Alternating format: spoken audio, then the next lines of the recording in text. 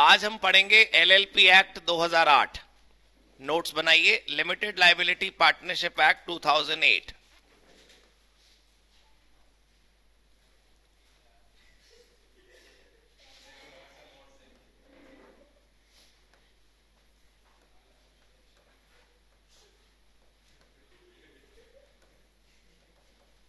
limited liability partnership act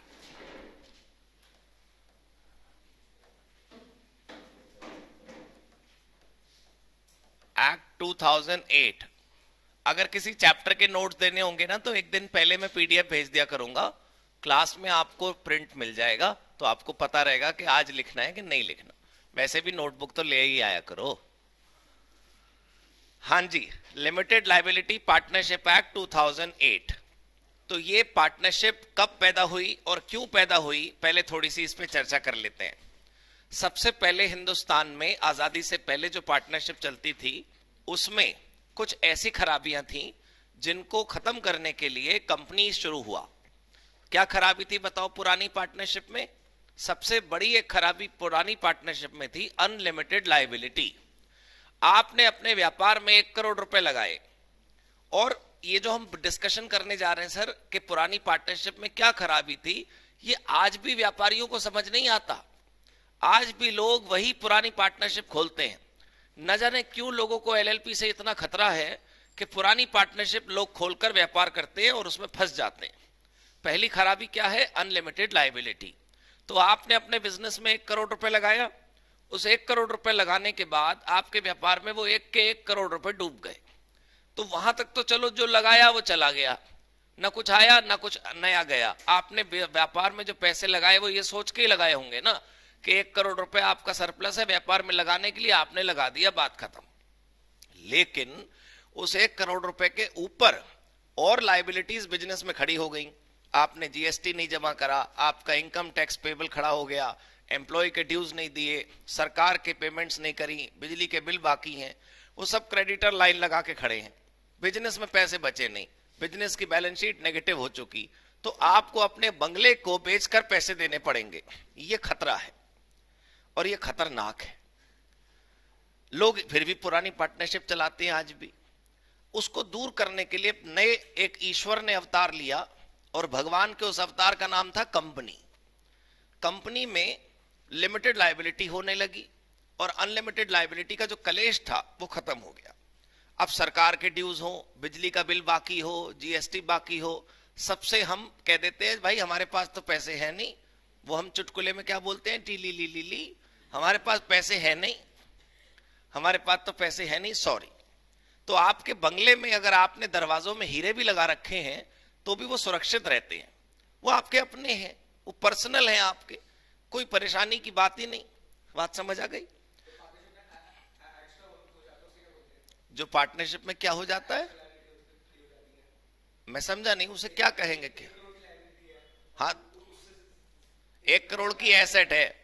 एक करोड़ की asset है, एक करोड़ का फंड है और एक करोड़ से ज़्यादा लाइबिलिटी आ गई तो उसे लाइबिलिटी तो कहेंगे कोई और नाम क्यों देंगे? वो भी तो लाइबिलिटी है, बस वो सेट ऑफ़ नहीं हो पाई, वो अभी अनपेड बची है। वो सॉरी मतलब पार्टनरशिप की बात कर रहे हैं कंपनी की तो अपने घर बेच के। हाँ मतलब फिर इंसॉल्वेंसी हो गई पार्टनर की, जो क्रेडिटर्स हैं, उनका दुर्भाग्य उन्होंने हमारे साथ बिज़नेस करा। यदि पार्टनरशिप में लाइबिलिटी बैलेंस शीट की एसेट से ज़्यादा रुपए की आई तो पहला प्रोसेस क्या है कि पर्सनल प्रॉपर्टी पार्टनर की बेच दो। हम कह रहे हैं, मान लो वो भी नहीं है, सब इरोड हो गया, सब उड़ गया, सब खत्म हो गया तो फिर किसी को कुछ नहीं देना, किसी को कुछ नहीं लेना, बस सब दिवालिया हो गए इंसॉल्वेंट हो गए, नमस्ते सॉरी कुछ नहीं हो सकता। ठीक? लेकिन आई एम सेइंग कि इसको दूर करने के लिए किसने जन्म लिया? कंपनी ने। कंपनी नाम की जो नई ऑर्गेनाइजेशन पैदा हुई उस नई ऑर्गेनाइजेशन में लाइबिलिटी लिमिटेड हो गई। उसमें उतने ही रुपए की लाइबिलिटी है जितने रुपए की एसेट बैलेंस शीट में है। ये जो आप देखते हैं ना, कुछ लोग लंदन भाग जाते हैं अपनी लाइबिलिटीज पे ना करने की वजह से। एंटीग्यूआ चले जाते हैं यूरोपियन देशों में चले जाते हैं।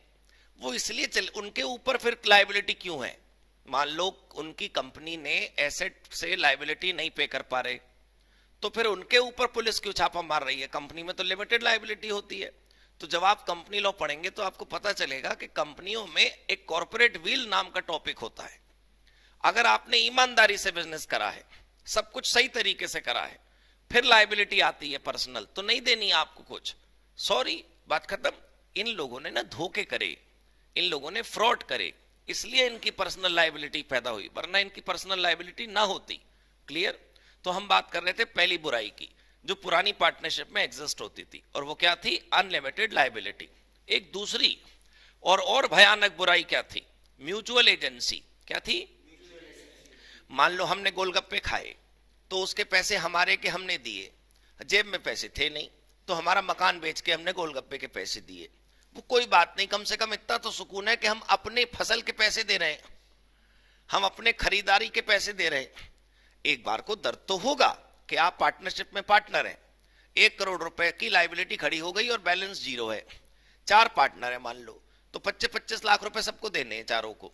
आपने अपना मकान बेचा, पच्चीस लाख रुपए पे कर दिए। चलो, ज़िम्मेदारी खत्म हुई। तो कम से कम अपना निभाया ना।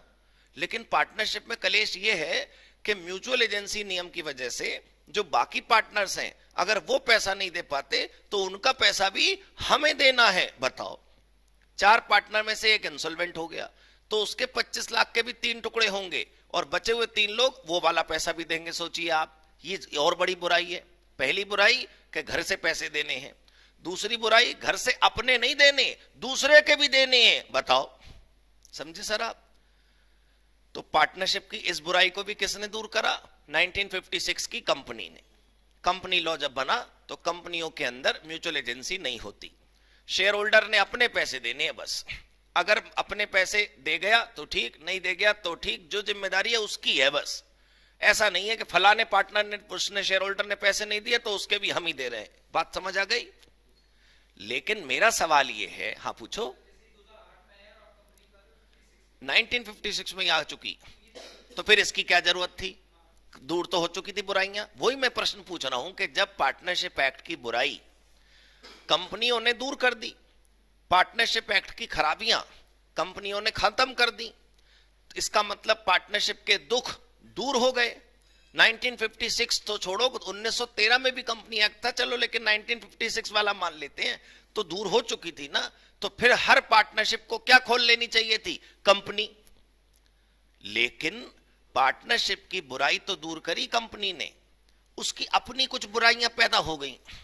कंपनी की क्या बुराई? सबसे पहली बुराई, कंपनी बहुत महँगी चीज़ है। सबसे पहली बुराई, कंपनी के खोलने और खत्म करने और चलाने तीनों में बहुत पैसे लगते हैं। जैसे फॉर एग्ज़ाम्पल आपको पार्टनरशिप खोलनी हो, ये वाली नहीं, पुरानी पार्टनरशिप खोलनी हो तो मेरा नज़र में मैक्सिमम सौ या पचास रुपए खर्च होंगे बस। बस वो स्टाम्प पेपर का खर्चा है जो खरीदना है। कुछ राज्यों में पचास रुपए का स्टाम्प पेपर लगता है, कुछ राज्यों में सौ रुपए का।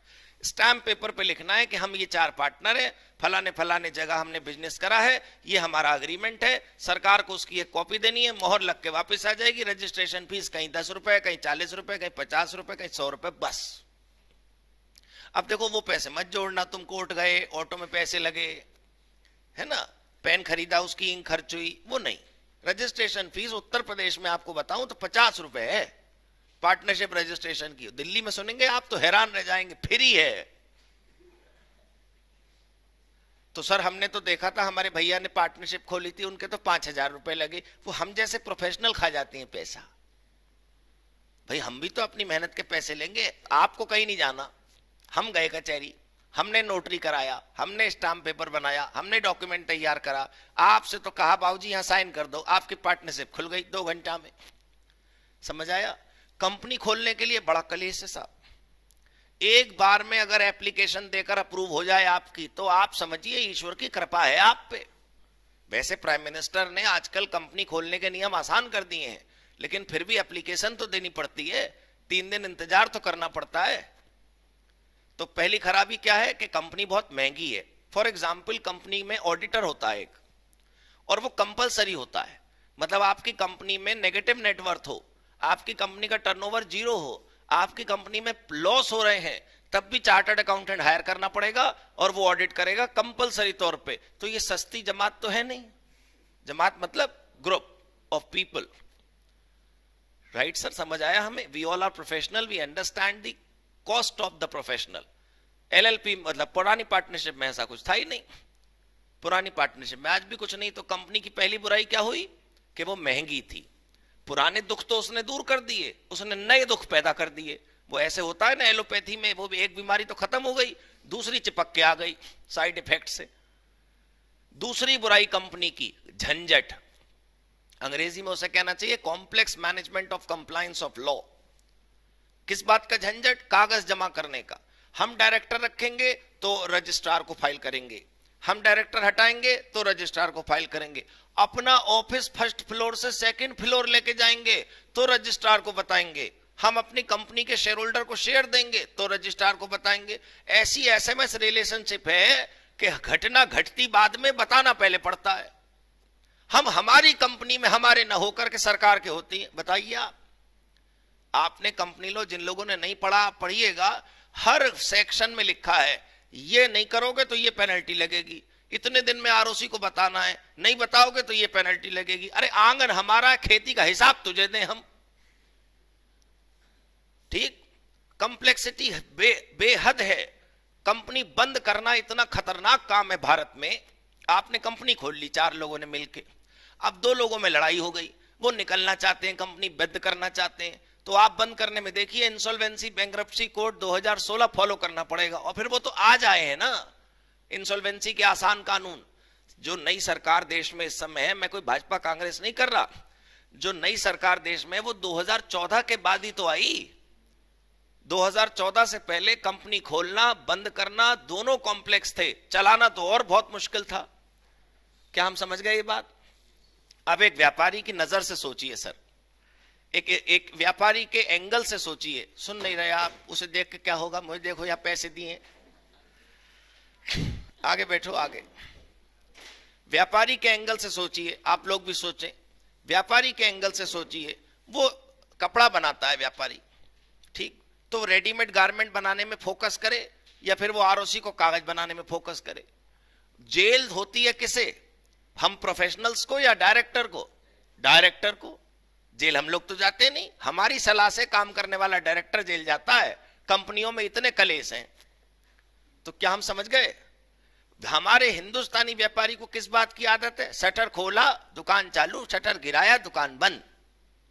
और कंपनियों में क्या कलेस है? ऐसे कैसे बंद हो गई कंपनी? ना। पहले वो साहब वैल्यूएशन होगी उसकी। इंसॉल्वेंसी प्रोफेशनल आके उस पर साइन करेगा। नेशनल कंपनी लॉ ट्रिब्यूनल को अप्लीकेशन जाएगी। कम से कम तीन हियरिंग होंगी। वो अदालत पूछेगी, क्यों बंद करनी है भाई कंपनी? मन तो करता उसको मारू जाके कंपनी मेरी है यार, मैं बंद कर रहा हूँ, मेरा मन तो इसका मतलब पहले सुनिए, दो एंड समझिए कॉपी मत करिएगा कुछ। आप प्लीज़ दस मिनट कुछ नोट ना करें, भाषण का आनंद लें। देखिए आप, पहले हम थे पार्टनरशिप पे, और यहाँ से हम मूव हो गए किस पर? कंपनी पर। पार्टनरशिप में क्या बुराई थी बताइए? अनलिमिटेड लाइबिलिटी नोट मत करिएगा। लिमिटेड लाइबिलिटी चैप्टर छोटा होता ना तो अब तक उड़ा चुका होता मैं। चैप्टर थोड़ा बड़ा है। लिमिटेड अनलिमिटेड लाइबिलिटी और दूसरा म्यूचुअल एजेंसी। एक की लाइबिलिटी दूसरे लोग मिलकर निभाते हैं, राइट? इन बुराइयों को यहाँ पर दूरी मिल गई, खत्म हो गई ये बुराई लेकिन यहाँ पर नई बुराई पैदा हो गई, बताओ। पहला क्या? कॉस्ट और दूसरा कंप्लेक्सिटी आप मतलब समझ गए कॉस्ट का क्या है? इनकॉर्पोरेशन कम से कम तीन हज़ार रुपए में होता है कंपनी खोलने का खर्चा। वैसे हम लोग तो पंद्रह बीस से नीचे नहीं उतरते, लेकिन सरकारी फ़ीस जो है, आपको बताऊँ, आप तो अपने लोग हैं, आपसे क्या छिपाना? तीन हज़ार रुपए में आपकी कंपनी खुल जाएगी। सारे कागजात मिला के डिजिटल सिग्नेचर रजिस्ट्रार की फ़ीस स्टाम्प पेपर जो भी खर्चा है, सब तीन हज़ार के अंदर ही हो जाएगा। कुछ बची जाएँगे थोड़े से पैसे रिक्शा भाड़े के। राइट ये कितने में खुल रही थी? पचास रुपया में। दूसरी वो कम्प्लेक्सिटी आप समझ गए?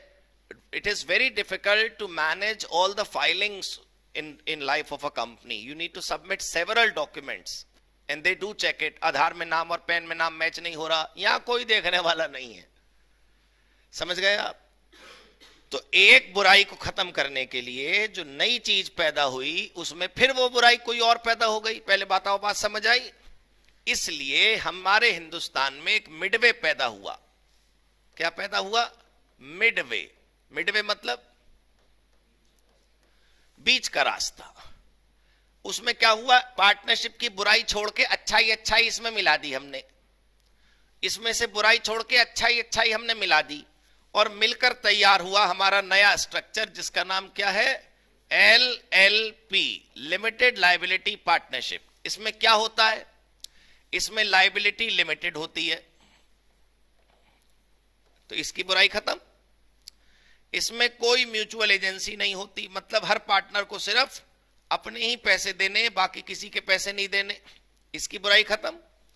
ये लो कॉस्ट कैरियर है। कम पैसों में खुल जाती है। एलएलपी खोलने में तो मैं बताऊँ आपको, बहुत महँगा अगर एलएलपी आप खोलोगे तो बारह सौ रुपया में खुल जाएगा।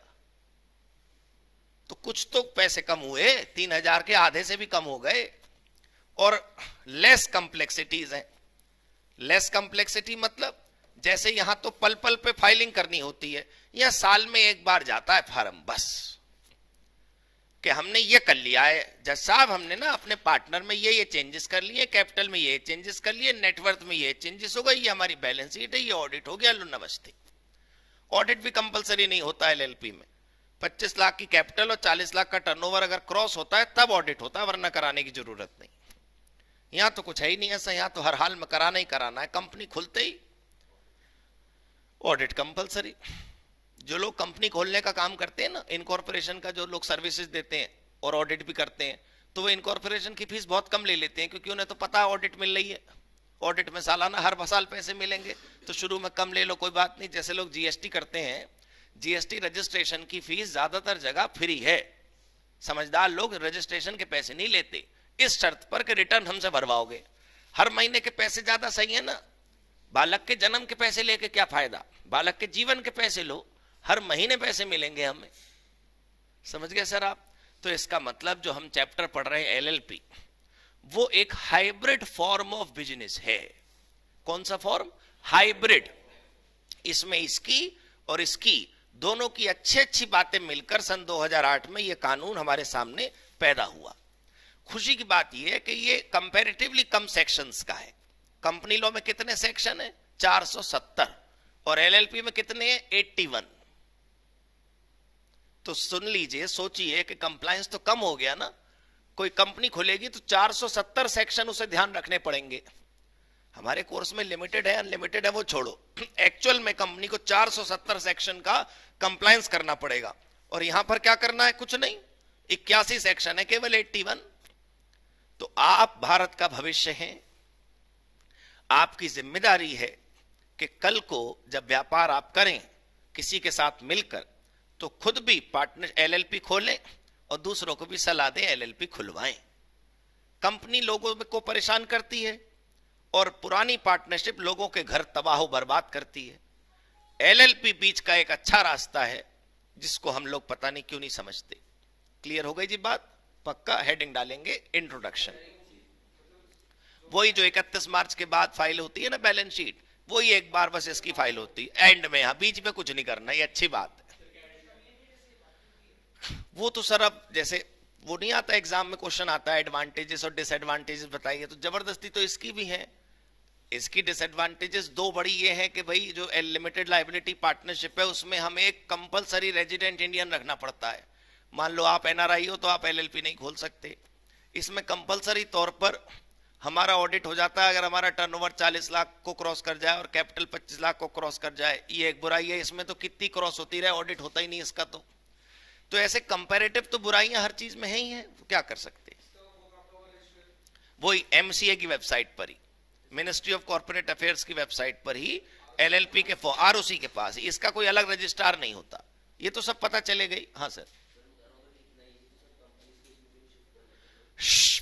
एक सवाल और आया समझदारी का, कि अगर एलएलपी इतनी इजी है और इतनी आसान है और कम सेक्शंस हैं, कम कंप्लायंस है तो फिर कंपनियाँ इसमें क्यों नहीं शिफ्ट हो जाती? पहला कारण तो ये कि ये लिस्ट नहीं होती। इसके शेयर बाज़ार में बिकते नहीं है। तो जिसको मार्केट से कैपिटल उठानी होगी, वो तो कंपनी खोलेगा। जिसको बाज़ार से कैपिटल उठानी होगी, वो कंपनी ही खोलेगा। एक तो ये रीजन है। दूसरा रीजन है अनअवेयरनेस। लोगों को समझ कहाँ आता है, सर? आपको पता है, कल को आप कंसल्टेंट बन जाएँगे तो बहुत मोटा पैसा मिलता है। कंपनियाँ आपसे राय लेने का डॉक्टर की तरह अपॉइंटमेंट लेंगी। 25 मिनट की राय के, इतने हज़ार रुपए। एक घंटे की राय के, इतने हज़ार रुपए। लोग देते हैं और लोग लेते हैं। क्योंकि उन लोगों को नहीं पता कानून में क्या लिखा है। वो तो बिज़नेस जानते हैं। बाटा लिमिटेड जूता बनाना जानती है। अब उसे पता नहीं डायरेक्टर को रिजाइन कैसे करवाना है। तो वो आपसे कंसल्टेंसी ले लेगी। वो इस पर सोचता ही नहीं कोई आदमी के एलएलपी करना चाहिए। नई सरकार ने 2014 से आज तक लगभग चौंतीस हज़ार कंप्लायंस खत्म करे। कल मैं स्पीच सुन रहा था कॉमर्स मिनिस्टर की। चौंतीस हज़ार। हम कह रहे हैं, झूठ बोल रहे आधे तो हटाए सत्रह हज़ार मान लो। तो सत्रह हज़ार कंप्लायंस जो हटाए सरकार ने, क्या वो पुरानी सरकार की नज़रों में नहीं थे? उनको नहीं ध्यान रहा होगा, या उन्होंने रेलेवेंस नहीं समझा उसको हटाना। जिसने ध्यान दिया तो अनअवेयरनेस दूसरा कारण है कि लोग कंपनी क्यों खोल रहे हैं एलएलपी क्यों नहीं खोल रहे? ठीक सर, ठीक? तीसरी बात है सर, समझदारी।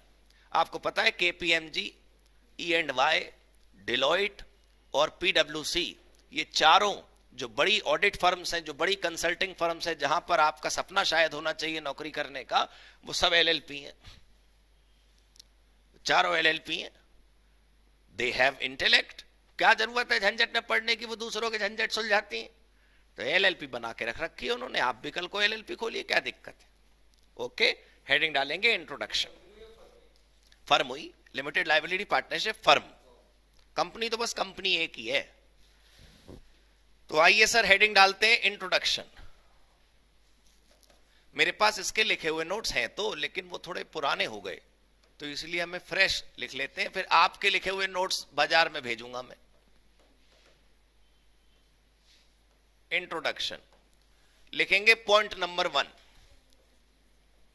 लिखिए L L P is hybrid form L L P is a hybrid form of partnership and company taking together taking together L L P क्या है? एक हाइब्रिड फॉर्म है. पार्टनरशिप की और कंपनी की टेकिंग टुगेदर, दोनों को एक साथ लेकर हम व्यापार जब करते हैं, दोनों के फीचर्स को जब हम मिक्स कर देते हैं, तब हमारा ये तैयार होता है। Taking together. राइट? क्लियर हो गई बात? Second point. Second point. LLP has advantages of LLP has advantages of both partnership as well as company. LLP has advantages of both partnership and company.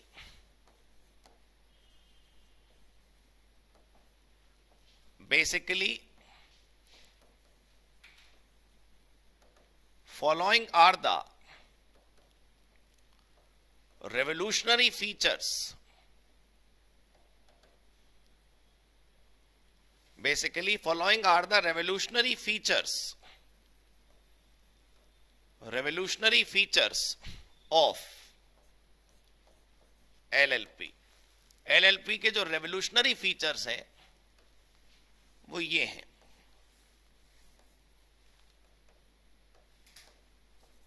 पहला limited liability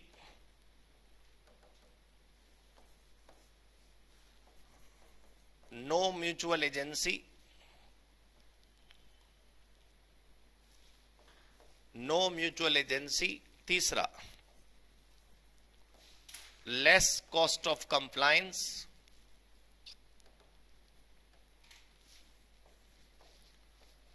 or less complexity level.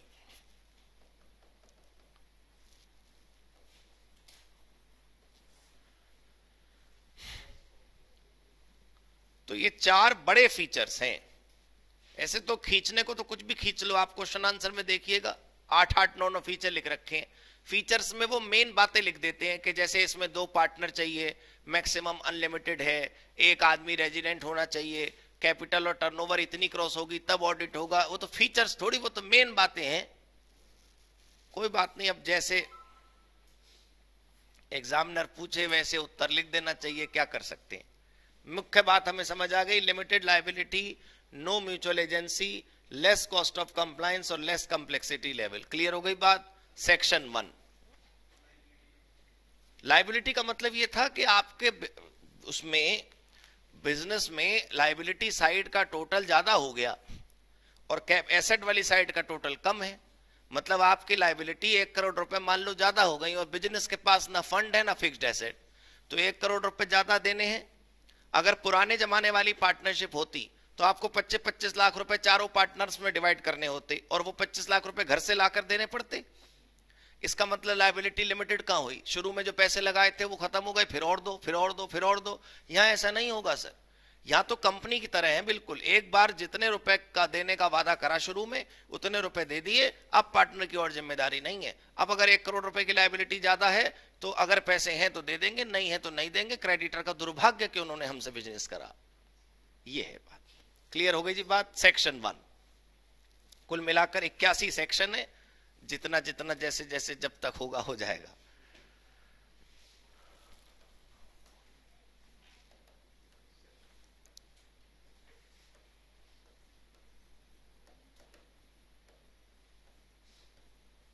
Section one short title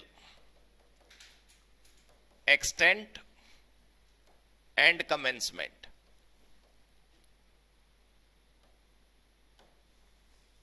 short title extend and commencement लगभग लगभग हर कानून का पहला section यही होता है। Clear बहुत आसान सेक्शन है, इसमें कुछ बातें नहीं है। पहला लिखिए it is called LLP act 2008 point two it applies to the whole of India मतलब ये जन्म से ही पूरे भारत पे लगता है। ऐसा नहीं है कि धारा 370 खत्म होने के बाद से कश्मीर पे लगना शुरू हुआ। ये और कंपनी कानून पहले से दोनों हिस्सों में लगते थे, जम्मू कश्मीर में भी और बचे हुए भारत में भी। क्लियर हो गई जी बात? सेक्शन वन खत्म। नमस्ती। सो गुड सारे इतने छोटे नहीं है, लेकिन पहला तो छोटा ही होता है। सेक्शन टू हाँ जी सर सेक्शन टू डेफिनेशंस अच्छा डेफिनेशन की जो स्पेलिंग है, वो आप सही लिखा करिए। कुछ लोग डेफिनेशन की स्पेलिंग में एन ए कर देते हैं। ठीक है? एन आई होता है। वो बोलने में डेफिनेशन लोगों को लगता है तो इसलिए N A T I O N कर देते हैं लोग। डेफिनेशन है डेफिनेशन नहीं है। डेफिनेशन में देखो सर, ऐसा है कि होने को तो बहुत सारी डेफिनेशन है। ये कई सारी डेफिनेशन है। ये किताब आपको तो मिली होगी, लेकिन देखने की ज़रूरत नहीं है। मैं वैसे बता रहा हूँ, आपको भी जाँच करनी हो तो डेफिनेशन बहुत सारी है। कुछ कुछ ऐसी डेफिनेशन होती है ना, जिस, जैसे एडवोकेट मीन्स एडवोकेट वो लिख के क्या फ़ायदा है? काम की डेफिनेशन लिखते हैं, पहली डेफिनेशन है एड्रेस किसे कहते हैं? पहली डेफिनेशन एड्रेस क्या होता है?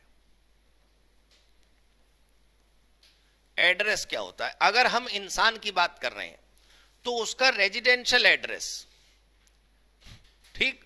रेजिडेंशियल एड्रेस मतलब वैसे तो देखिए, आपके एग्ज़ाम में कोई इतना भारी और टेक्निकल सवाल नहीं आता। कोई आप यूपीएससी का इंटरव्यू देने नहीं जा रहे हैं। लेकिन अब पता नहीं होता ना, भाई कब क्या पूछ ले एग्ज़ाम में।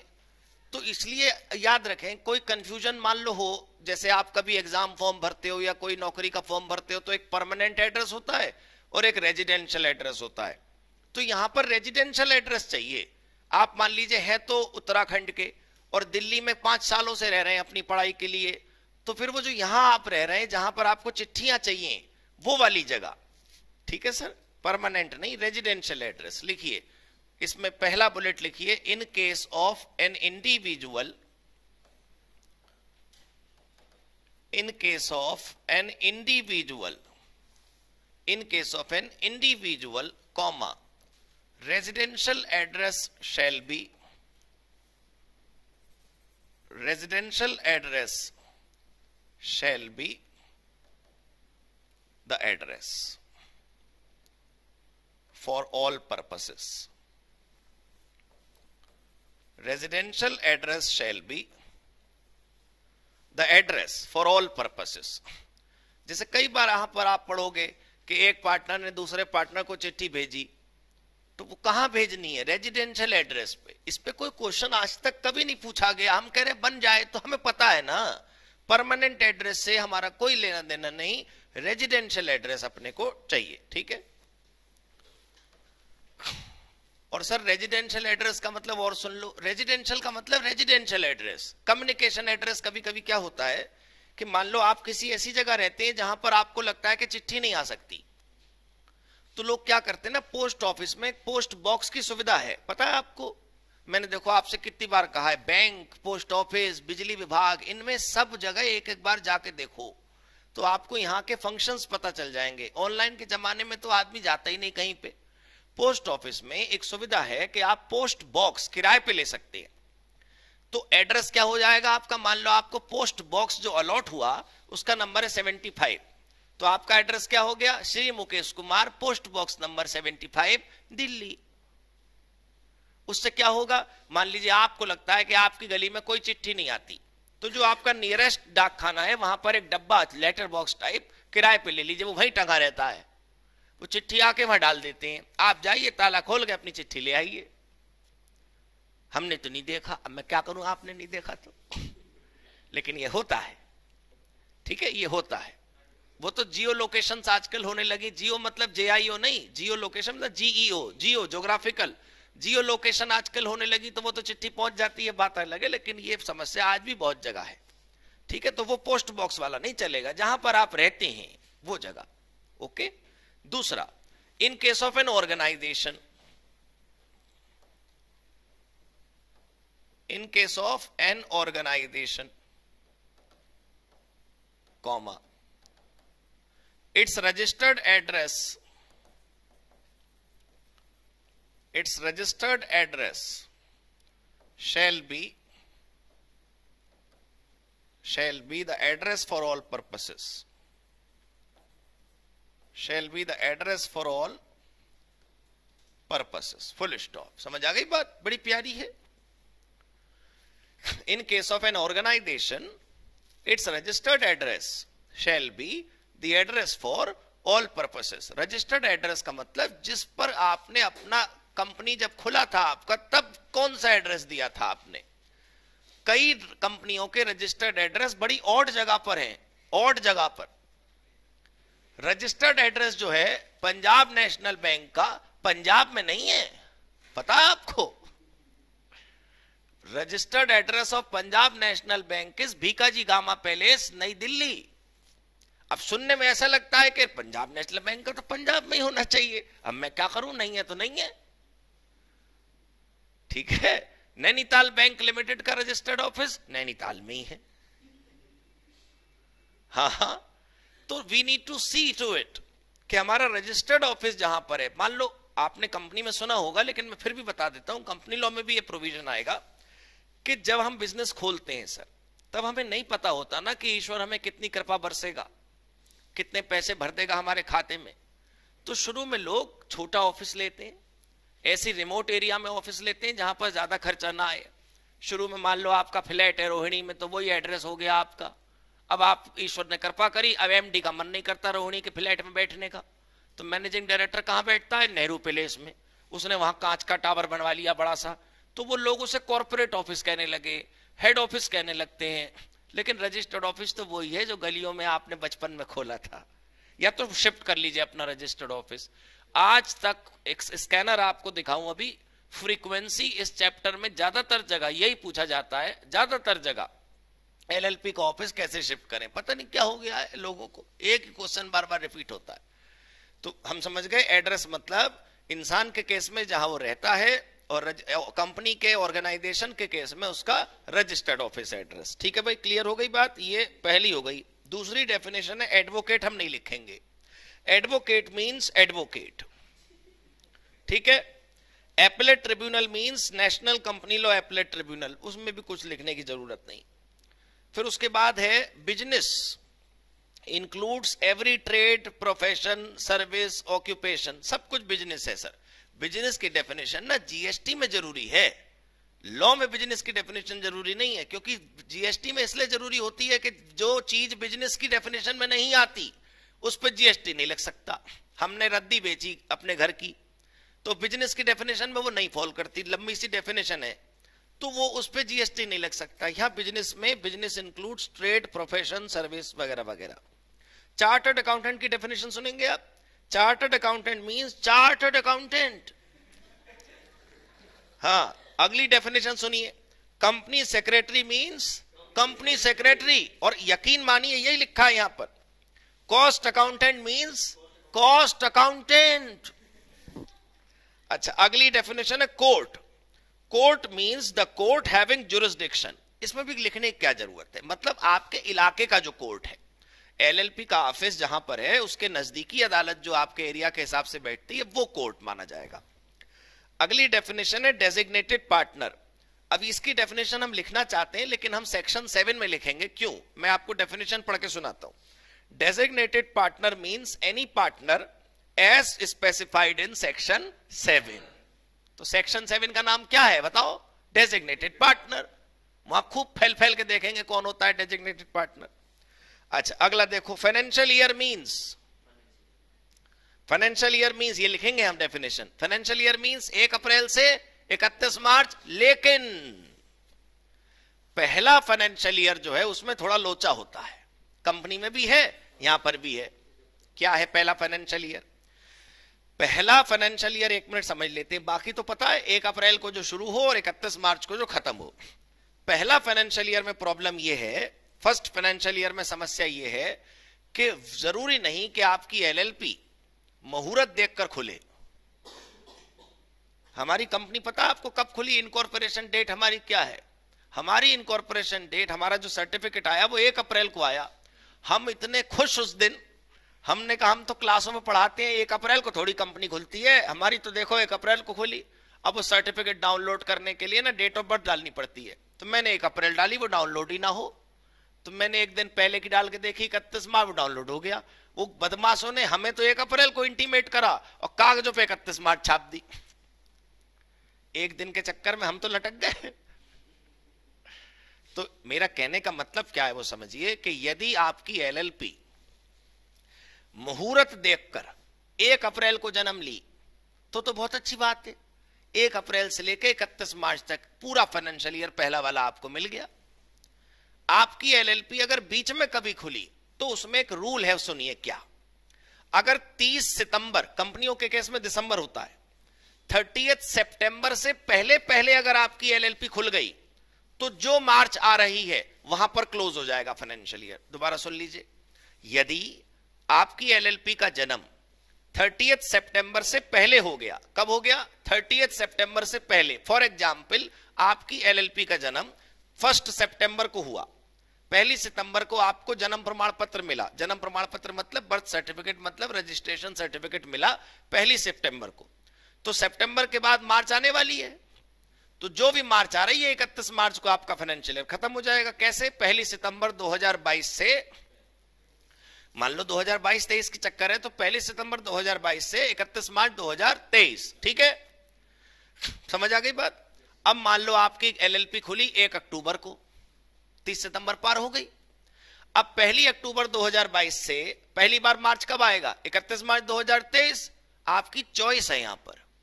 चाहो तो 1 अक्टूबर से 31 मार्च 23 को पहला फाइनेंशियल ईयर मान लो। चाहो तो 1 अक्टूबर 2022 से 31 मार्च 24 को फाइनेंशियल ईयर मानो। वो कहना चाहती है सरकार कि पहला फाइनेंशियल ईयर अगर आप नहीं चाहते कि दो चार महीने का हो तो आप जो आने वाली मार्च है उसे इग्नोर कर दो। उसके बाद वाली जो मार्च है, सीधे उसको बना लेना बैलेंस शीट। आदमी सेटल डाउन हुआ नहीं, शांति से बैठा नहीं, दो घूट चाय पी नहीं, तुम कह रहे हो यार बैलेंस शीट नहीं बनी। यही तो होगा। भाई, अक्टूबर में जो एलएलपी खुलेगी, एक महीना तो उसे ऑफ़िस सजाने में लगेगा वर्कर्स की हायरिंग में लगेगा डेटर क्रेडिटर के साथ कॉन्ट्रैक्ट करने में लगेगा जीएसटी का रजिस्ट्रेशन करने में आजकल एक एक महीना लगता है, इतना लंबा समय होने लगा तो उन सब में टाइम लगा, पता चला फरवरी, मार्च आने लगी। समझ गए सर? सरकार क्या कहना चाहती है? सर, आप लोग जो लोग एलएलपी पढ़ रहे हैं, आपके कोर्स में कंपनी लॉ है। मैं कह रहा हूँ, नहीं भी है तो भी एक कंपैरिजन सुनिए आप। कंपनियों के केस में यदि आपकी कंपनी 31 दिसंबर के बाद खुलती है तो मतलब एक जनवरी को खुली मान लो तो जो मार्च आ रही है, उस पर क्लोजिंग नहीं होती है। कंपलसरी वो मार्च छोड़ना पड़ता है। लेकिन यहाँ पर कंपलसरी नहीं है। यहाँ पर चॉइस है। समझ गए सर आप ये बात? पक्का क्लियर इसको लिख लेते हैं। अगली डेफिनेशन फाइनेंशियल ईयर दूसरी डेफिनेशन हम जो लिख रहे हैं that shall be financial year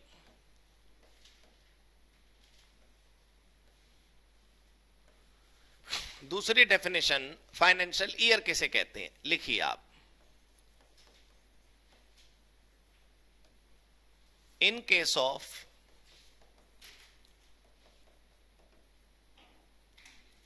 in case of first financial year comma it shall start on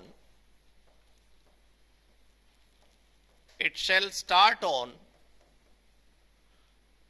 date of incorporation it shall start on date of incorporation ये इनकॉर्पोरेशन वाले दिन खुलेगी, चलेगी फाइनेंशियल ईयर शुरू होगा and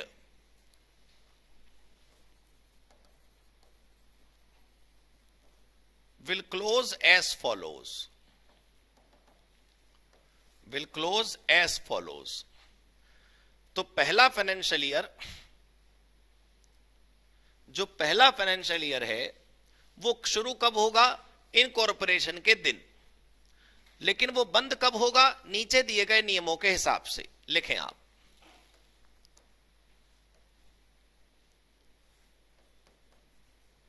If date of incorporation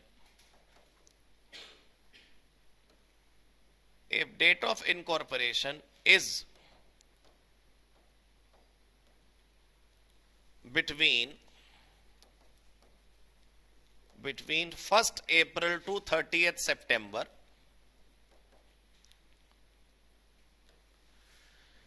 if date of incorporation is between 1st April to 30th September, comma, first financial year shall close on upcoming 31st March. Upcoming 31st March.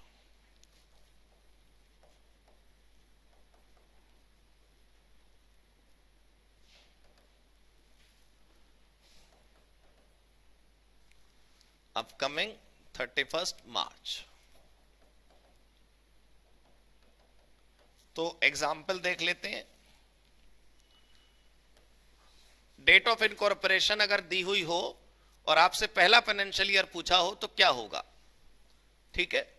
इसका हमारा जो test होगा, उसमें ये छोटी छोटी बातें आपको ध्यान रखनी है, अच्छे से आप पढ़ें।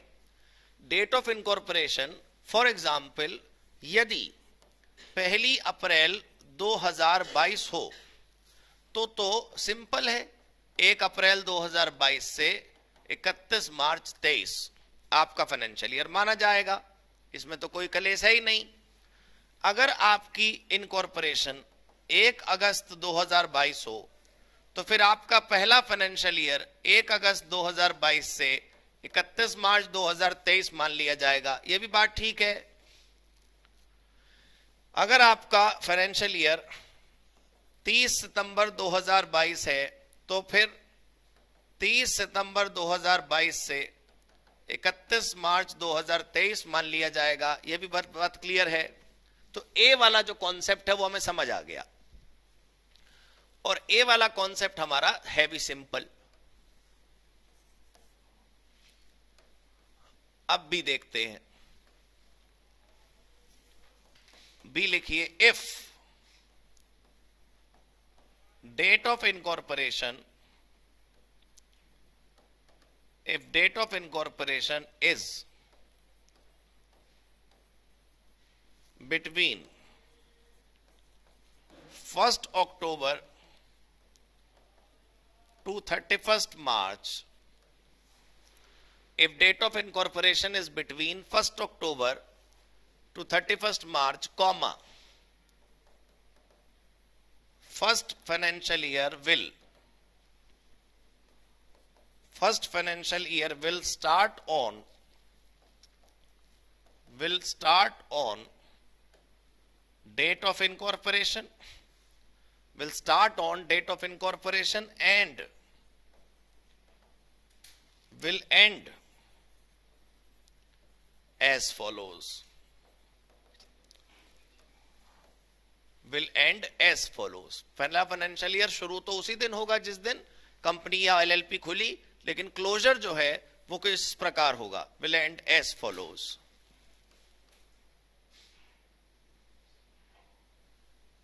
नहीं एग्ज़ाम्पल नहीं एस फॉलोज में ना बी के अंदर भी छोटे छोटे दो टुकड़े निकालने पड़ेंगे। ऐसे लिखो ऑप्शन वन इसमें दो चॉइस थी ना। कंपनियों के केस में तो ये कंपलसरी है कि एक मार्च छोड़ के अगला मार्च लेना है। यहाँ पर हमारी चॉइस है। कि हम या तो यही वाला मार्च ले लें या छोड़ के अगला लें। ठीक? पक्का? लिखिए। Option one. Closure of first financial year may be done on upcoming thirty first option 2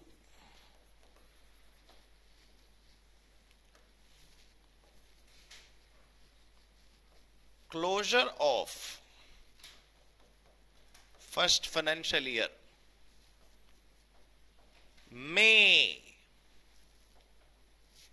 be done. May be done. On next to next 31st March. Next to next 31st March.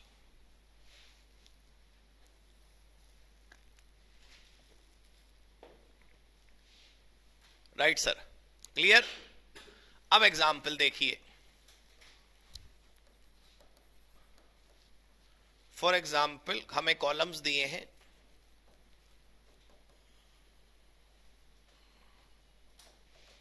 Date of incorporation और उसके बाद first financial year starts और first financial year ends ये दो अलग अलग column start और and के इसलिए बनवाए मैंने कि आपको ये फील आएगा कि स्टार्ट का जो वो है डेट वो हमेशा सेम रह रही है। सिर्फ़ क्लोजर की जो डेट है वो बदल रही है। तो कंपनी ये जो आपकी एलएलपी है, उसका इनकॉर्पोरेशन मान लो हुआ पहली सितंबर 2022 ठीक, पहली सितंबर, तीस सितंबर के बाद का रूल है, लेकिन एक मिनट पहले वाला लिख लेते हैं। तो बताओ कब खत्म होगा? एक सितंबर 2022 से 31 मार्च 2022 कंपलसरी है ना ये तो? 23 ये तो कंपलसरी है। उसके बाद 30 सितंबर 2022 को अगर एलएलपी खुली तो 30 सितंबर 22 से 31 मार्च 23 ये भी कंपलसरी है, इसमें कोई ऑप्शन नहीं है। अब 1 अक्टूबर 2022 को आपकी एलएलपी खुली तो 1 अक्टूबर 22 अब यहाँ पर चॉइस है 31 मार्च 2023 और इकतीस मार्च चौबीस, कौन चूज़ करेगा? एलएलपी के डेजिग्नेटेड पार्टनर्स डेजिग्नेटेड पार्टनर ना डायरेक्टरों की तरह होते हैं कंपनी के। बस उसे डीपी बोलते हैं डी की बजाय। यहाँ हो गया अगला, देखते हैं एग्ज़ाम्पल अब आपकी एलएलपी खुली, मान लो 31 दिसंबर 2022 तो इधर आपकी एलएलपी 31 दिसंबर 2022 को शुरू हुई खत्म होगी 31 मार्च 2023 और 31 मार्च 24 ठीक है जी? अब देख लेते हैं जरा थोड़ा सा आगे बढ़कर। 31 मार्च 2022 को आपके एलएलपी का इनकॉर्पोरेशन हुआ। तो 31 मार्च 2022 छोड़ी 23 31 मार्च 23 को आपका एलएलपी का जन्म हुआ तो आपका फाइनेंशियल ईयर 31 मार्च 2023 से 31 मार्च 2023 एक ही दिन का फाइनेंशियल ईयर या फिर 31 मार्च 24 आपका मन है।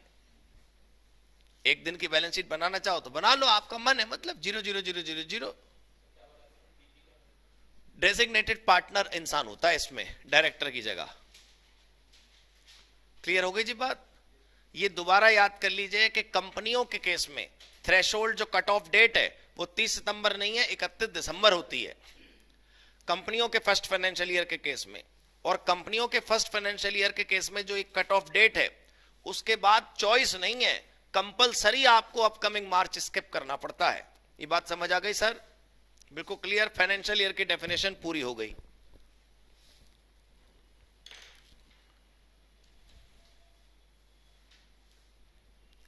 क्लियर हो गई बात? चलिए। अगला है, अगली डेफिनेशन है एलएलपी किसे कहते हैं? LLP means partnership registered under this act ठीक है? में क्या करना है? फॉरेन एलएलपी का मतलब आप ऐसी समझ लीजिए, लिखने की ज़रूरत नहीं है। फॉरेन एलएलपी किसे कहते हैं? बताइए। वो LLP which is registered in India या outside India but it should have a place of business in India हम ये बात कई बार कर चुके एक बार दोबारा सुन लीजिए। हमें, हमारे भारत में, मैं लिखवा देता हूँ इसकी डेफिनेशन फिर ऐसे मिस हो जाएगा। पहले समझ लो।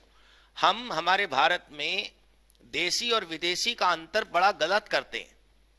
एक कंपनी हमारे देश में हुंडई या हुंडे जो भी आप बोलते हो उसे। लोग कहते हैं वो विदेशी कंपनी है। उसके पिताजी विदेशी हैं वो विदेशी नहीं है। Hyundai Motors India Private Limited ये नाम है कंपनी का which is registered in India So some company, somebody from Videsh came to Bharat and get a company registered. That company will be Indian, right? आप कल को America में settle हो जाओ। और वहाँ आपके जो फूल खिलेंगे, बच्चे जो आपके होंगे, वो भले ही भारतीय आदमी की संतानें हैं, लेकिन वो रहेंगी तो अमरीकी ना। उसी प्रकार नेस्ले इंडिया है। लोग कहते हैं नेस्ले स्विट्जरलैंड की कंपनी है। नेस्ले इंडिया तो इंडिया की कंपनी है। स्विट्जरलैंड में उसकी एक होल्डिंग कंपनी बैठी है। तो सर बात तो एक ही यार कैसे बात एक है भाई? नेस्ले इंडिया की बोर्ड मीटिंग हिंदुस्तान के कंपनी लोग से होंगी। नेस्ले स्विट्जरलैंड की बोर्ड मीटिंग स्विट्जरलैंड के कानून से होंगी। ऐसे ज़बरदस्ती तो कुछ भी, कैसे भी चिपका दोगे ना आप। पहले बताओ, बात समझ आई सर आपको? टाटा स्टील पाकिस्तान में भी है, बांग्लादेश में भी है, नेपाल में भी है। तो वो वहाँ खुली है ना? वो उनकी, हमसे उनका क्या मतलब? हाँ उनका पेरेंट ऑर्गेनाइजेशन भारत में है। तो सुनो, अभी बात पूरी नहीं हुई। अब मान लो कोई कंपनी लंदन में खुली। और उसका बिज़नेस लंदन में ही है। तो वो विदेशी नहीं है।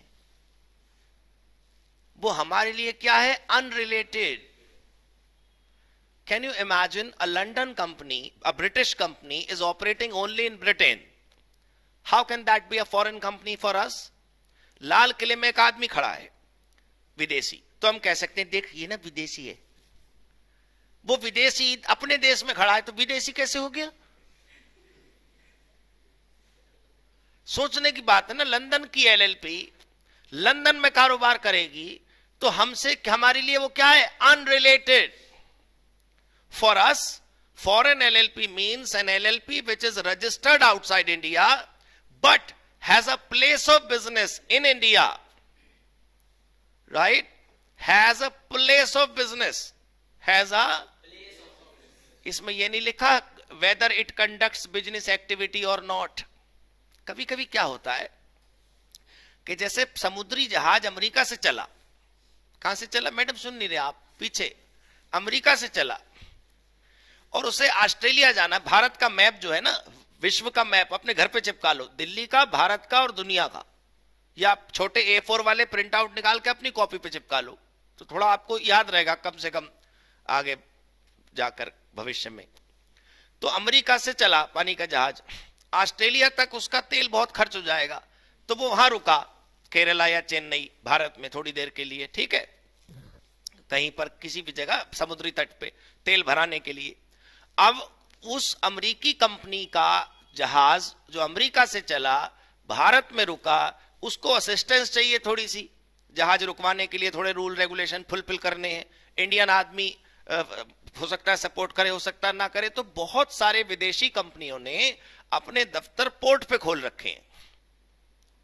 उनका क्या काम है? बस जहाज़ को क्लियर करवाना। कोई बिज़नेस थोड़ी चल रहा उनका। वो जहाज़ आता है पेपर वर्क करके उसमें ऑयलिंग करवा के उसे वापस भेज देते भाई, इतना काम है उनका। कुछ लोगों का बस क्या काम है? ऑर्डर्स रिसीव करना। मान लो हमारा अमेरिकी कंपनी से बिज़नेस चलता है तो कोई आदमी चाहिए हमें जिसको बिठा के कॉफ़ी पे बात कर सके। वो वो दिल्ली में उसका ऑफ़िस है तो कुछ नहीं, कोई क्या काम थोड़ी है उसका? कैनलाइजिंग करना। मतलब एक प्रकार से दोनों के बीच में लाइजनिंग करना। हाँ भाई क्या प्रॉब्लम है? गलत माल आ गया? अरे नहीं नहीं मैं बैठा हूँ ना। बस ऐसे वाले लोग। तो उनका प्लेस ऑफ़ बिज़नेस है फिर भारत में। समझे सर आप प्लेस ऑफ़ बिज़नेस माल खरीदना बेचना नहीं होता यहाँ पर। समझ आई बात? तो foreign L L P does not mean an L L P which is registered outside India and also has a place of business outside India if it has nothing to do with India, it's not foreign LLP. It will be foreign LLP only when it has something in India.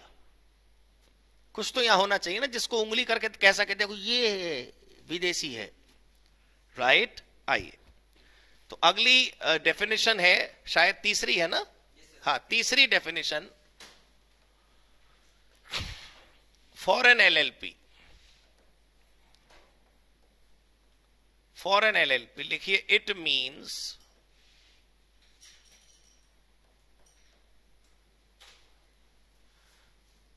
Grammar के हिसाब से यहाँ ए लगना चाहिए। लेकिन आप N लगाएँगे, ठीक है? It means an L L P it means an L L P registered outside India but but has a place of business but has a place of business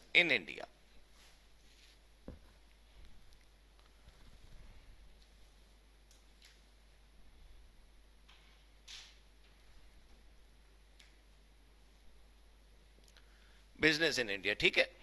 भाई, इतना सब बात थी। लिख के, लिख लो, छोड़ के क्या हो? अगली डेफिनेशन है भाई लिमिटेड लाइबिलिटी पार्टनरशिप अग्रीमेंट किसे कहते हैं? इसको हमें इसलिए लिखना चाहिए क्योंकि पुरानी पार्टनरशिप में आपको पता होगा अग्रीमेंट ओरल भी हो सकता था। ट्रेडिशनल पार्टनरशिप 1932 वाली में अग्रीमेंट मतलब अग्रीमेंट वेदर ओरल और रिटिन यहाँ पर अग्रीमेंट मींस रिटिन ये फ़र्क है दोनों में, ठीक है? लिखें आप। अगली definition LLP agreement.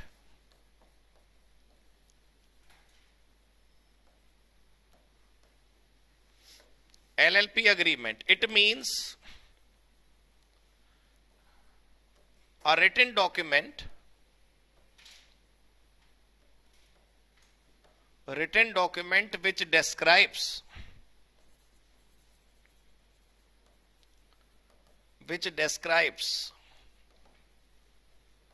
rights and duties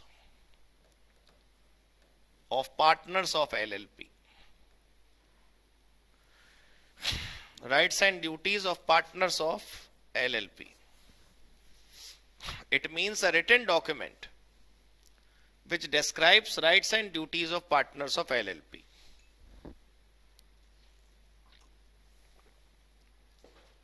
ठीक है भाई क्लियर हो गई बात अगला डेफिनेशन है देखो भाई ये मतलब लिखेंगे नहीं, हम नेम किसे कहते हैं नेम इसमें लिखा है, अगर इंडिविजुअल है तो his first name middle name and surname ठीक है? It is a body corporate its registered name मतलब ऑर्गेनाइजेशन है तो जिस नाम से वो रजिस्टर हुई। अब जिस नाम से रजिस्टर हुई ना, वो थोड़ा वैसे समझ लीजिए जनरल नॉलेज में, कि रजिस्टर्ड नेम और ब्रांड नेम अलग अलग होते हैं। कई जगह। एक हिंदुस्तान में कंपनी है पेज इंडस्ट्रीज़ लिमिटेड। कंपनी का नाम क्या है sir? P I L Page Industries Limited. वो क्या बेचती है? जॉकी के अंडरवियर। आप घर जाके कोई कपड़े का डब्बा होगा आपके पास जॉकी फोकी का तो देख लीजिए, या किसी दुकान पे घुस जाइएगा। वो एक मिनट कहना, भैया, दिखाओ जरा बनियान।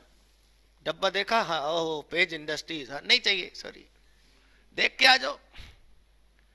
एक कंपनी बहुत मशहूर आपने सुनी होगी, Gujarat cooperative milk marketing federation limited GCMMF तो बैलेंस शीट में कहीं अमूल नहीं है, आप चेक कर लीजिए। कहा कहीं कागजों पे होना चाहिए ना? आप बैलेंस शीट लाइए ना। अमूल की फुल फॉर्म जो मार्केट में फ़ेमस हो गई, वो हो गई आनंद मिल्क यूनियन लिमिटेड। वो उस जमाने में ना आनंद शहर में एक वो बनी थी कोऑपरेटिव सोसाइटी वो डिजोल्व हो चुकी, बरसों हो गए। ऑर्गेनाइजेशन का नाम है जीसी मैं तो कह रहा हूँ, आप किसी की सुनी सुनाई बातों पे क्यों विश्वास करती है? आप वेबसाइट देखिए अमूल डॉट कूप और बैलेंस शीट डाउनलोड कर लीजिए। वहाँ तो होगी ना, Gujarat cooperative milk marketing federation limited एक कंपनी हमारे देश में, Aditya Birla Nuvo Limited N U V O Nuvo. Nuvo मतलब कुछ कुछ नया, कुछ स्टाइल कुछ कुछ फ़ैशन नूवो। फ्रांस का या जापान का शब्द है, नूवो। नवाचार मतलब। क्या बनाती है वो? कपड़े रेडीमेड गारमेंट क्या उन, कौन से कपड़ों की दुकानें हैं उनकी? ये Peter England Arrow Louis Philippe Van Heusen Allen Solly ये सब एक ही कंपनी के हैं। आदित्य बिरला नूवो लिमिटेड तो कंपनी नेम बैलेंस शीट पे जो है ये लुई फिलिप की बैलेंस शीट अलग नहीं बनती है वैन हुजन की बैलेंस शीट अलग नहीं बनती। ये सब ना फ्रांस से कॉपी करे। लुई फिलिप फ्रांस में था वो आदित्य बिरला ने खरीद लिया उसको। तो अब वो इंडियन टेक ओवर के बाद इंडियन हो गई अब ये सब। सब इंडियन हो गई ये सब। तो हमें बात समझ आई सर? तो रजिस्टर्ड नेम मतलब अमूल नहीं रजिस्टर्ड मतलब जॉकी नहीं रजिस्टर्ड मतलब वो, वो जो कागजों पे नाम है वो। ठीक है ना? चलो। कुछ जगह सेम है। रिलायंस इंडस्ट्रीज़ लिमिटेड का प्रोडक्ट भी रिलायंस है, वो कंपनी भी रिलायंस है और ब्रांड भी रिलायंस है। वो अच्छी बात है भाई। कुछ जगह दोनों चीज़ें सेम है, कुछ जगह दोनों चीज़ें अलग है। तो अपने को कागज़ वाला नाम देखना है। जबान पे लोगों के जो नाम है, वो नहीं देखना है। टूथब्रश करते हैं लोग। टूथब्रश कर रहे हैं। हमने पूछा हाँ भाई, क्या कर रहा है? मैं कोलगेट कर रहा हूँ कोलगेट चाहे पेप्सोडेंट लगाओ उस पर लोग कहते ही हैं, मैं कोलगेट कर रहा हूँ। क्योंकि वो ब्रांड नेम इतनी चढ़ चुकी जमान पर। अगला डेफिनेशन है पार्टनर किसे कहते हैं। अब ये तो partner means any person who becomes a partner ठीक है, ये ऑब्वियस बातें हैं। Regional director means regional director registrar means registrar schedule means schedule हाँ ये अगली definition is very important this is the last definition small LLP किसे कहते हैं? वही मिनिमम दो मैक्सिमम अनलिमिटेड तो स्मॉल एलएलपी किसे कहते हैं? उसकी अगली डेफिनेशन जो है, वो लिख लेते हैं। पांचवी definition small LLP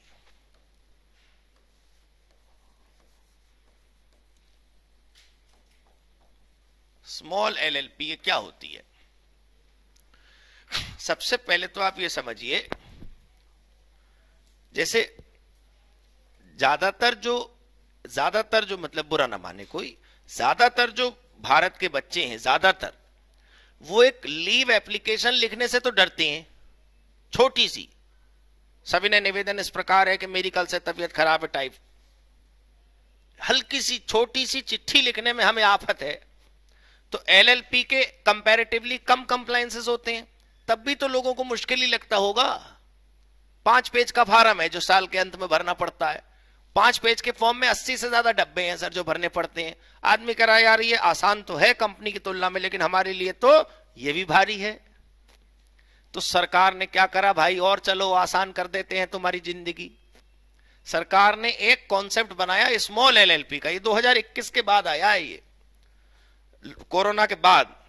LLP comparatively वैसे छोटी होती है। एलएलपी कंपेरेटिवली वैसे ही कम कॉस्ट की होती थी। एलएलपी वैसे ही कम कंप्लेक्सिटी वाली होती थी। लोग कह रहे हैं, उसमें भी प्रॉब्लम है तो सरकार करिए जात तू भी का याद रखेगा। ऐसा करते हैं, अगर तेरी कैपिटल 25 लाख से कम है, और अगर तेरा टर्नओवर 40 लाख से कम है तो फिर ऐसा कर, तेरे ऊपर बहुत सारी क्या लगा देते हैं? एग्जेम्शन रिलैक्सेशन वो आप आगे पढ़ेंगे कौन कौन सी लगती हैं। लेकिन एलएलपी को भी सरकार ने दो हिस्सों में बांट दिया, एक स्मॉल और दूसरी कुछ नहीं, बस स्मॉल और एलएलपी एक स्मॉल एलएलपी और एक एलएलपी मीडियम और लार्ज कुछ नहीं। एक स्मॉल एक अदर देन स्मॉल तो स्मॉल एलएलपी की डेफिनेशन समझ लेते हैं। इससे हमें पता चल जाएगा कि स्मॉल के मतलब क्या है। आगे कभी प्रोविज़न आएगा कि ये रूल स्मॉल पे नहीं लगता। तो हमें पता होगा स्मॉल मतलब क्या। अच्छा एक बात और सुन लो। कैपिटल कितना? 25 लाख तक होनी चाहिए। और टर्नओवर 40 लाख तक। लेकिन ये 25 लाख रुपए की जो लिमिट है, सरकार को अधिकार है, केंद्र सरकार को, कि वो इसे इंक्रीज कर सकती है। अभी तो 25 लाख ही है। मान लो कभी सरकार का दिल करा 25 लाख नहीं 50 लाख मानो इसे तो 50 लाख मान लेंगे। मैक्सिमम मैक्सिमम पाँच करोड़ तक जा सकता है 25 लाख की लिमिट। जैसे महँगाई बढ़ गई तो अभी हाँ। नहीं नहीं, वो फिर संसद में कानून बदला जाएगा, तभी होगा। तो पार्लियामेंट ने जब लॉ बनाया 2008 में तो सरकार को एक कुशन दे दिया।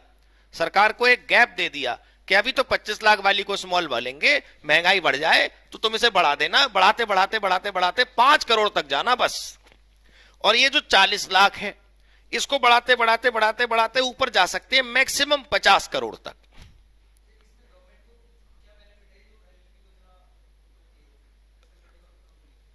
नहीं, सरकार का एलएलपी को एज सच फ़ायदा डायरेक्टली एलएलपी के प्रति कोई सॉफ्ट कॉर्नर नहीं है सरकार का।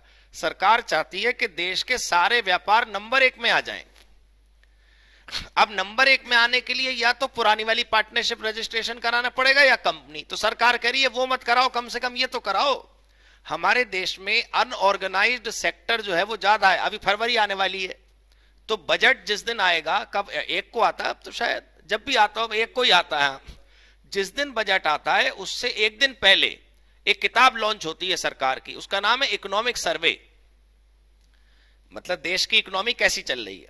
उसमें आप देखिएगा 50 प्रतिशत से ज़्यादा इकोनॉमी में जो कंट्रीब्यूशन है वो किसका है? अनऑर्गेनाइज सेक्टर का। ये जो गलियों में दुकानें खुली हैं, ना कोई जीएसटी ना कोई इनकम टैक्स ना बैंक खाता करंट अकाउंट छोड़ो, सब चल रहा है। वो तो शुक्र है यूपीआई का कि थोड़े बहुत पैसे अब ऐसे आने लगे। सरकार नहीं चाहती कि ये बढ़े। क्यों? क्योंकि ज़्यादा मोटा माल तो यही दबा हुआ है। भाई, बड़े वाले मछलियाँ तो चलो, कुछ है, कोई बात नहीं। ये जो छोटे छोटे छोटे छोटे छोटे छोटे छोटे छोटे छोटे छोटे लोग हैं, इनका एग्रीगेट तो बहुत बड़ा है, और ये सब अनरजिस्टर्ड आदमी है। सरकार चाहती बेटा, तू रजिस्टर्ड हो जा। हल्के रूल सही सही। बैलेंस शीट तो बतानी पड़ जाएगी ना। तो जब बैलेंस शीट बतानी पड़ जाएगी तो फंस जाओगे। देश में आठ करोड़ लोग आईटीआर भरते हैं बस। 140 करोड़ के देश में। सिर्फ़ परसेंटेज 10 परसेंट भी नहीं बन रही। 14 करोड़ भी लोग नहीं भर रहे आईटीआर। ठीक तो उससे सरकार तो बस ये चाहती है सारे व्यापार नंबर एक में हो जाए। ऐसे ना सही तो वैसे हो जाओ, हल्के हो जाओ वह किसी तरह। आइए। स्मॉल एलएलपी क्या है? लिखिए। It means an LLP whose size of business whose size of business does not exceed, does not exceed both the following limits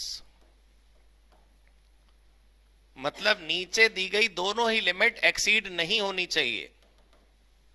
नीचे दी गई दोनों लिमिट एक्सीड नहीं होनी चाहिए। बोतल में कहीं से भी ढक्कन खुलेगा तो पानी तो निकल ही जाएगा ना।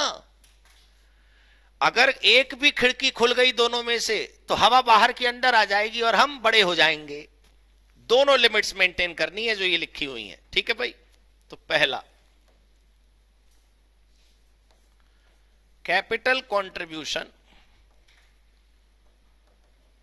capital contribution should not be more than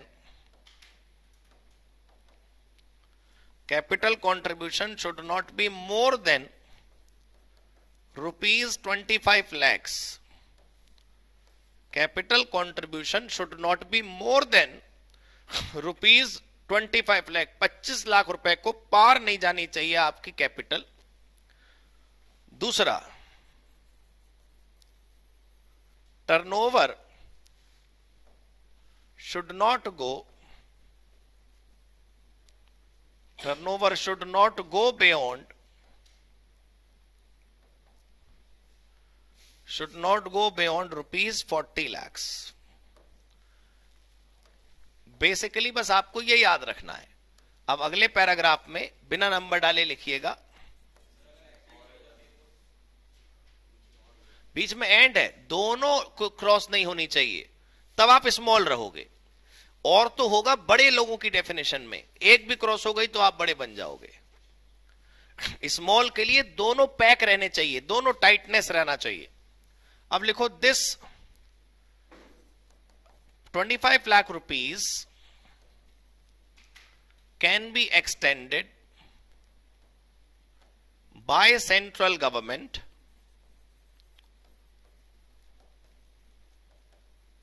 by central government up to rupees 5 crore. जैसे जब भी महँगाई बढ़ती है ना तो इसलिए ये अमाउंट बढ़ाना पड़ता है कि 26 लाख वाला बोलेगा यार हम स्मॉल नहीं है। हमारे ऊपर कोरोना नहीं आएगा या हम हमारे ऊपर महँगाई मार नहीं मारेगी। तो सरकार बोलेगी चले यार 50 लाख तक वाले स्मॉल मान लेते हैं।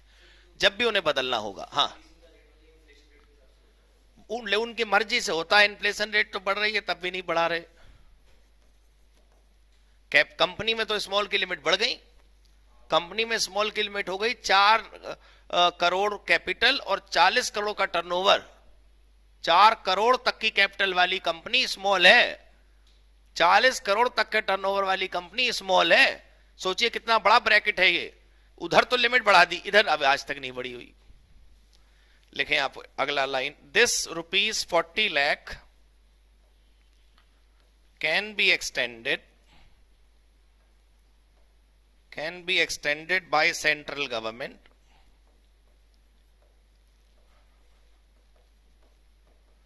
up to rupees 50 crore up to rupees 50 crore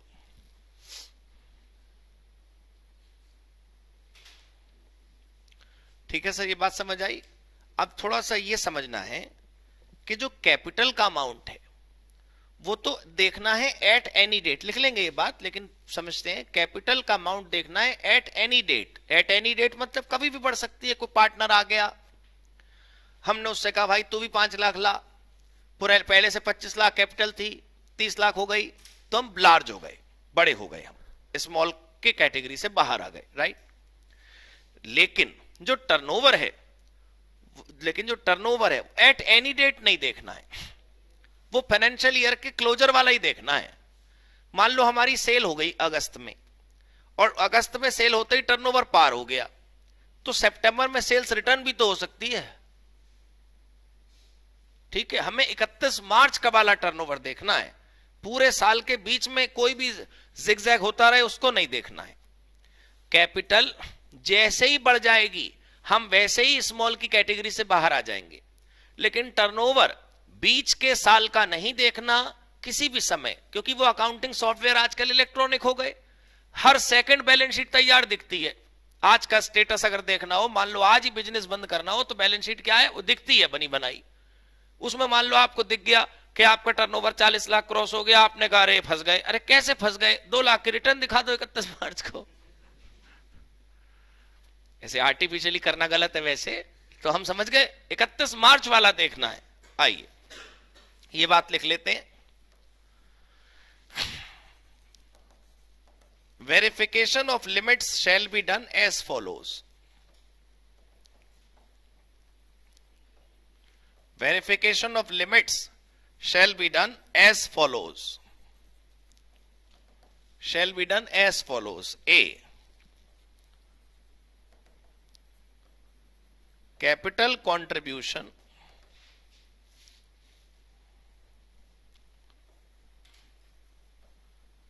shall be considered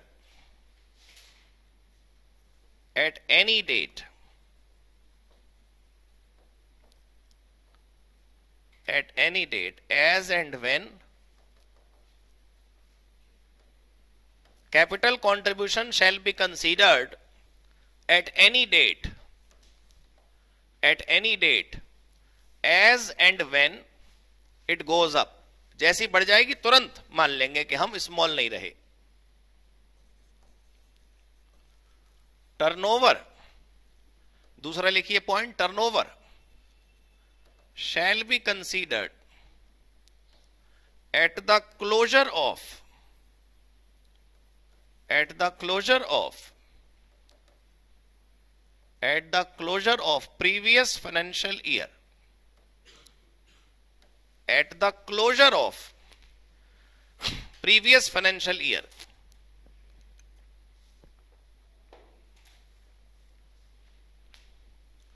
right समझ आ गई जी बात? डेफिनेशन खत्म सेक्शन टू पूरा हो गया। अब सेक्शन थ्री देखते हैं। Section two finish section three L L P to be body corporate section two पूरा हुआ डेफिनेशंस खत्म हो गई। अब आइए।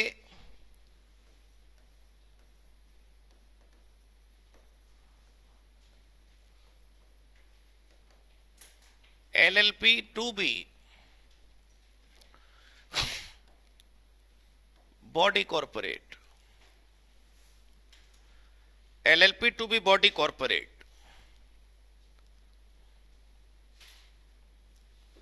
LLP to be body corporate. पढ़ लिया जी आपने? देखिए क्या है।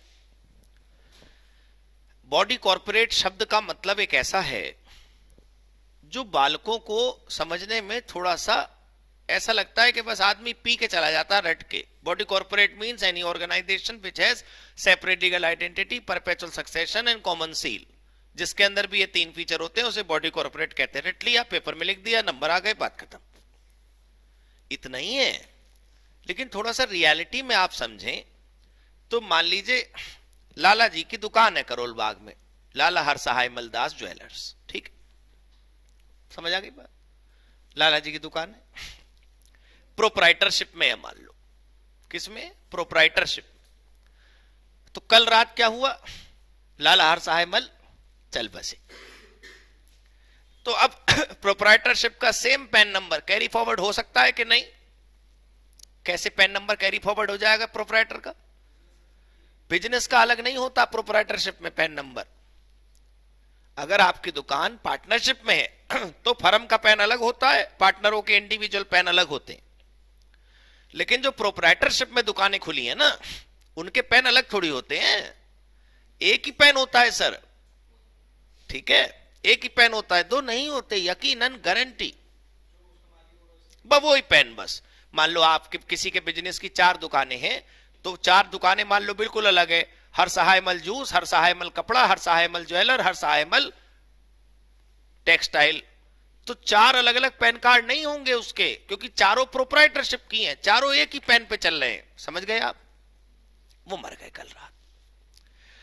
अब जब वो कल रात मर गए तो बिज़नेस सेम कैरी फॉरवर्ड हो ही नहीं सकता सर फर्म तो बंद करनी पड़ेगी।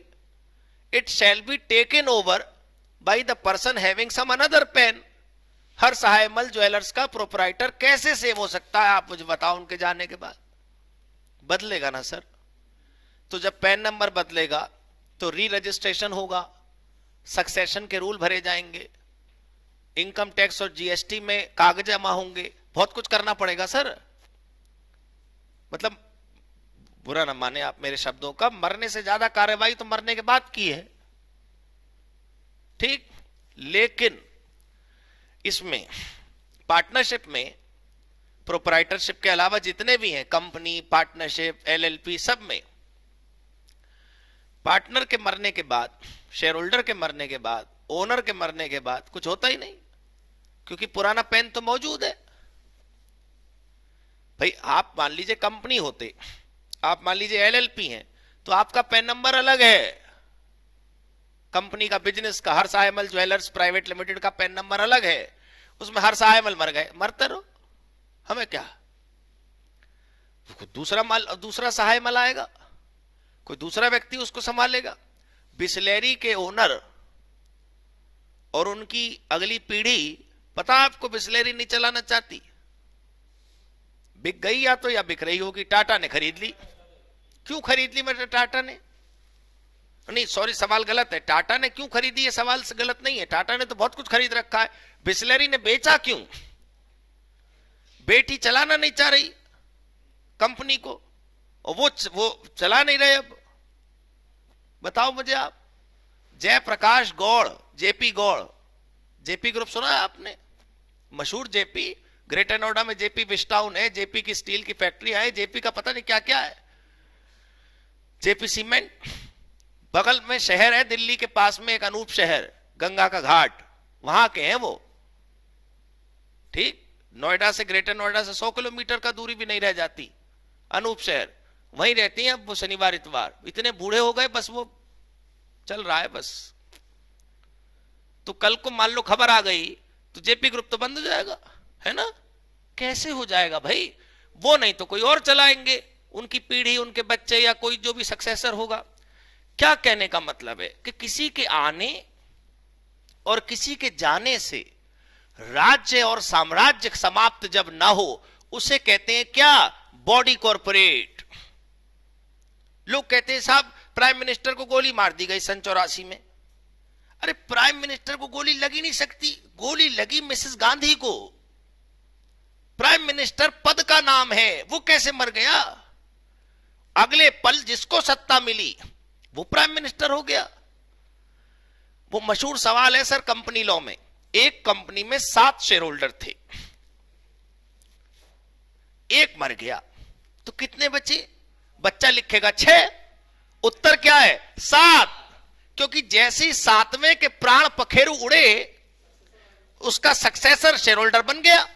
तो सात के मरने के बाद जो बचे, वो कितने बचे? सात। इसे कहते हैं बॉडी कॉर्पोरेट। क्या हम समझ पाए ये बात? लेकिन ऐसा पुरानी पार्टनरशिप में नहीं होता, वहाँ डीट बदलनी पड़ती है। एलएलपी अग्रीमेंट में कोई प्रॉब्लम नहीं। तो इसे कहते हैं बॉडी कॉर्पोरेट, जिसमें पहला, किसी के आने और जाने का असर नहीं पड़ता। दूसरा, जिसके नाम से प्रॉपर्टी की रजिस्ट्री हो सकती है। जिसके नाम से प्रॉपर्टी की रजिस्ट्री हो सकती है. इट कैन होल्ड एसेट पुरानी पार्टनरशिप का ऑफ़िस है, कोई खरीदा गया तो फर्म के नाम का नहीं होता. पार्टनरों के इंडिविजुअल नाम की होती है रजिस्ट्री समझे सर आप? लेकिन एलएलपी में एलएलपी के नाम की रजिस्ट्री हो सकती है, उसे कहते हैं बॉडी कॉर्पोरेट ये जो संपत्ति है सारी सरकारी कंपनियों के पास, ये इनकी थोड़ी है, राष्ट्रपति के नाम पे रजिस्ट्री होती है सबकी. मान लो कल को भारत पेट्रोलियम बोले, ये तो मैंने मकान खरीद रखे हैं, या तो मैंने बिल्डिंग खरीद रखी है। दस सेकंड लगेंगे राष्ट्रपति को ये सब खत्म करने में। कानूनन जितने भी सरकारी आदेश हैं, उन पर राष्ट्रपति की आखिरी मोहर लगती है। भारत के संपत्ति का मालिक कौन? राष्ट्रपति। समझे आप?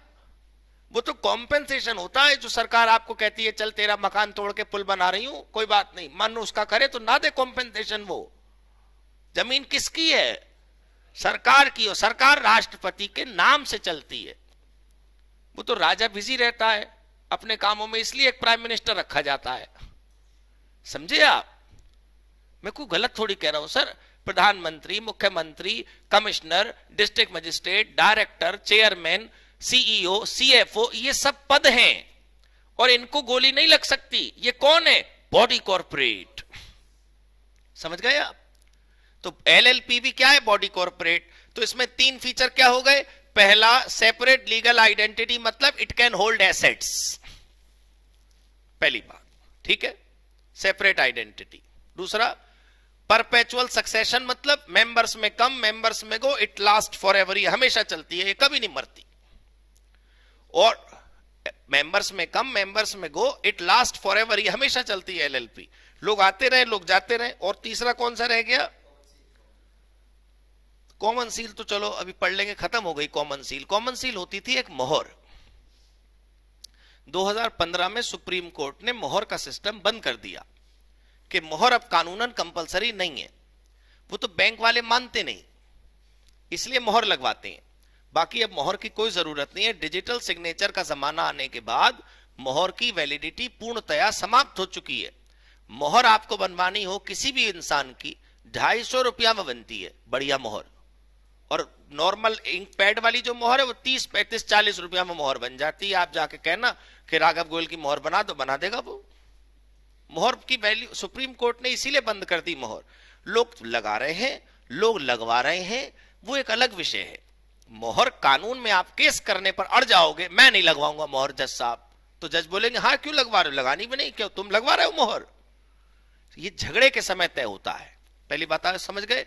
इसलिए एलएलपी को बोलते हैं बॉडी कॉर्पोरेट, क्योंकि इसमें पार्टनर के मरने से एलएलपी नहीं बंद होती, पार्टनर के एग्जिट करने से एलएलपी बंद नहीं होती, पार्टनर की एंट्री करने से एलएलपी बंद नहीं होती। आपने तो अकाउंट्स पढ़े हैं, sir.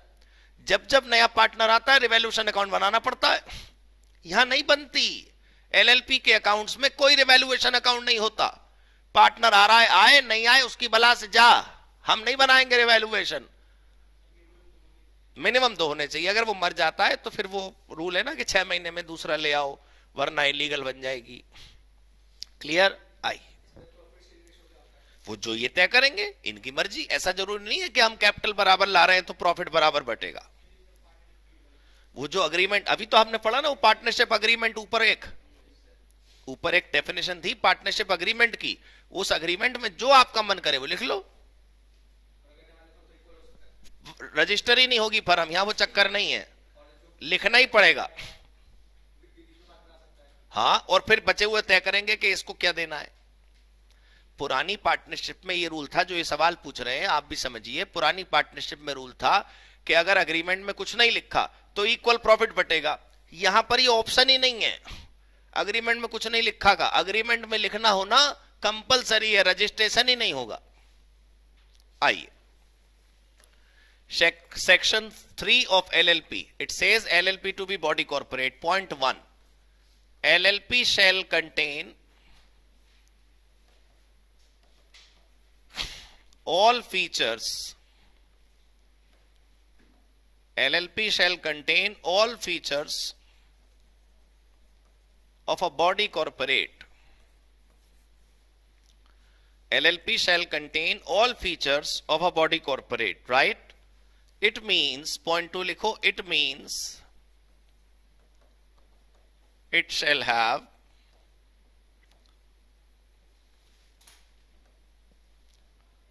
it means it shall have perpetual succession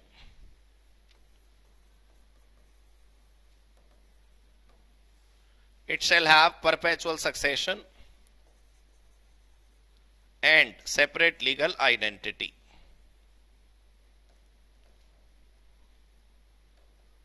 Separate legal identity. Separate legal separate legal identity मतलब आपके नाम पर अस्तित्व है आपका तो आपके नाम पर एसेट्स आ सकती हैं, आपके नाम पे लाइबिलिटीज आ सकती हैं आपका खुद का मकान दुकान हो सकता है परपेचुअल सक्सेशन का मतलब अमर रहना हमेशा ज़िंदा रहना, वही जो लोग मरते हैं तो ये नहीं मरती। और पता है, इन दोनों शब्दों के ऊपर एक लंबी पीएचडी हम करेंगे जब हम कंपनी लॉ पढ़ते हैं। कंपनी लॉ में इन दोनों शब्दों के ऊपर काफ़ी डिटेल है। चलो, तीसरा पॉइंट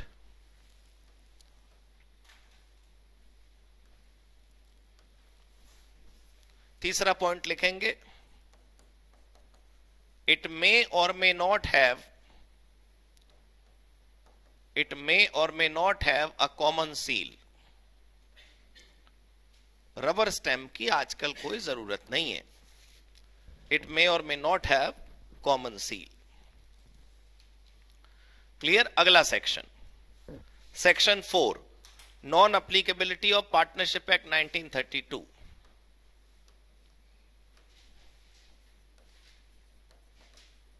तो आपने देखा ज़्यादा बड़े बड़े सेक्शंस नहीं है। आराम से अपना खत्म हो जाएगा। Non applicability of non applicability of partnership act partnership act 1932 non applicability of partnership act 1932 इसके अंदर बस एक लाइन का पैराग्राफ लिख दीजिए। Partnership act 1932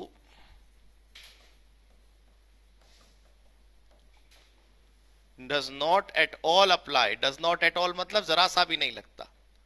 Does not at all apply on L L Ps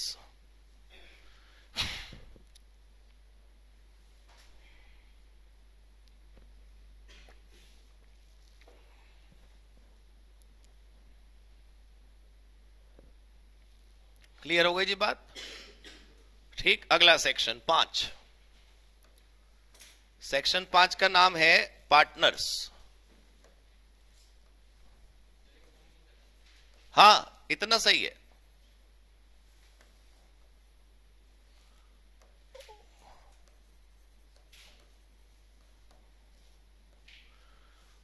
section number पाँच, इसमें लिखेंगे partners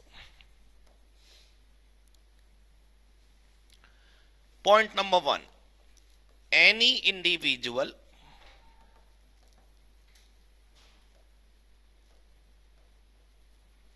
or body corporate any individual or body corporate can become partner in LLP मतलब पार्टनर कोई भी बन सकता है इंसान भी और ऐसी संस्था भी जिसका सेपरेट आइडेंटिटी हो। मतलब दो कंपनियाँ भी पार्टनर बन सकती हैं एलएलपी में, फिर उन कंपनियों के रिप्रेजेंटेटिव चलाएँगे उस एलएलपी को। इसलिए क्योंकि पैसा चाहिए ना, अपने को तो इंडस्ट्री लगानी है देश के अंदर। अब मान लो दो इंसान के पास कैपिटल लगाने के लिए नहीं है, लेकिन दो कंपनियों के पास कैपिटल लगाने को तो करने दो उनको ज्वाइंट वेंचर क्या दिक्कत है? देश की तरक्की के लिए ज़्यादातर इंफ्रास्ट्रक्चर के प्रोजेक्ट जो देश में लग रहे हैं वो 90 परसेंट प्रोजेक्ट ज्वाइंट वेंचर में चल रहे हैं। अकेले कोई आदमी बना ही नहीं रहा पुल आजकल। देश के सारे एयरपोर्ट सारे फ्लाईओवर सारी सड़कें सारे एक्सप्रेसवे सब ज्वाइंट वेंचर में हैं। सब मतलब सब आपको एक्सेप्शन मिलेंगे दो चार कोई होंगे तो। सब का मतलब सब एक्सेप्ट फॉर वन और टू कोई आप रेयर केस निकाल के ले आए देखो साहब इसमें तो नहीं है पार्टनरशिप हाँ, हाँ हाँ। तो ये पहली बात कोई भी पार्टनर बन सकता है। इंसान भी और संस्थाएँ भी। दूसरी बात, उसके नाम में एलएलपी होना चाहिए। हम्म उसके नाम के आगे एलएलपी होना चाहिए, पक्का। और इनका रजिस्ट्रेशन नंबर वैसा होता है, तीन चार अंकों का L L P dash zero three zero one, बस। L L P dash zero four zero one, ऐसे। छोटे कम है ना संख्या में इसलिए। इनका वैसा नहीं है इक्कीस अंकों वाला फैला हुआ रजिस्ट्रेशन नंबर। चलिए, दूसरा point. People can not become following people can not become partner नीचे दिए गए लोग पार्टनर नहीं बन सकते। कोई लंबी लिस्ट नहीं है, बस खाली दो नाम है। कौन लोग पार्टनर नहीं बन सकते?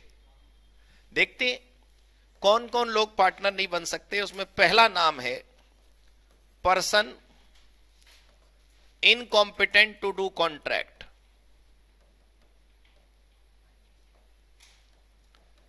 incompetent to contract under contract act 1872 contract act 1872 के अंदर, जो आदमी कॉन्ट्रैक्ट नहीं कर सकता, जो इंसान कॉन्ट्रैक्ट नहीं कर सकता, वही पागल इंसॉल्वेंट आदमी इनसेन जो जो सब थे उसमें। और दूसरा दूसरा थोड़ा विशेष है। Person who has applied for insolvency and his application is pending.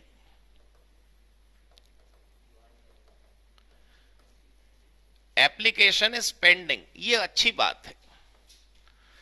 आपके एग्ज़ाम में मैं बता रहा हूँ, आज तक ये आया नहीं है टॉपिक ये एग्ज़ाम में कभी नहीं आया। लेकिन इसके आने में देर थोड़ी लगेगी, सर। साल दर साल कंपटीशन बढ़ रहा है। कंपटीशन बढ़ने पर पेपर का पैटर्न थोड़ा सा ऑड ऑड बनाया जाता है कि एकदम से बच्चे को ऑब्वियस चीज़ें ना दिखें। पिछले दस साल में एग्ज़ाम में क्या आया, हमेशा वो देखकर जाने से भला नहीं होता ना। वो पूरी कहानी सी दे देगा आपको, राम कहानी प्यारी सी बनी हुई। उसमें वो लड़ाई करवाएगा दो लोगों में, रमेश और मुकेश में। रमेश कहेगा, मैं पार्टनर बनूँगा. मुकेश कहेगा, तू तो इंसॉल्वेंसी में चला गया, तू कैसे पार्टनर बनेगा? वो कहेगा, नहीं नहीं, मैं भी इंसॉल्वेंसी में थोड़ी गया हूँ, मेरी तो खाली एप्लीकेशन गई है, वो तो अभी पेंडिंग है। तो पेंडिंग हो तब भी उसे पार्टनर नहीं मानना है। जो आदमी खुद अदालत जाकर कह रहा है, जज साहब, मेरे पास कुछ नहीं है, उस आदमी को पार्टनर बनाने की ज़रूरत ही क्या है? कल को जब बर्बादी होगी तो वो कह देगा, मेरे पास तो है नहीं पैसे। राइट अगला section minimum number of partners नहीं, क्योंकि वो कॉम्पिटेंट टू कॉन्ट्रैक्ट नहीं है। सेक्शन नंबर छ सेक्शन नंबर छ खत्म तो शायद नहीं हो पाएगा सेक्शन छ बस थोड़ा सा शुरू कर लेते हैं। हाँ। बड़ा मतलब आज के समय के हिसाब से बड़ा। Minimum number of partners minimum number of partners लिखिएगा each LLP should have, each LLP should have minimum two partners कम से कम दो पार्टनर इन लोगों के पास होने चाहिए, कम से कम, minimum. If number of partners go below minimum, दो से नीचे हो जाए अगर गो बिलो मिनिमम कॉमा लगा के छोड़ दो। यहाँ से आगे की बात, अगली मुलाकात।